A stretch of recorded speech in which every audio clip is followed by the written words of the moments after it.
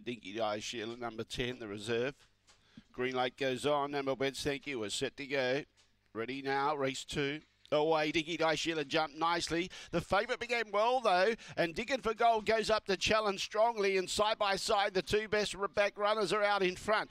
Now she's kicking back Dinky Di Sheila, but he got across though, and Digging for Gold got clear. Dinky Di Sheila challenging it was Kibitzer. Then in turn behind those was Quick Burn out the back, Black Diesel and Billman's Harmony. But uh, today's a day for Digging for Gold. Second, Dinky Di Sheila, probably a length to the quarter away, made some ground late. Kibitzer was third in front of Quick Burn. Behind those, Black Black Diesel and Billman's Harmony at the tail end of the field. And the time very similar to the first, in fact, exactly the same 23 13. 23 13.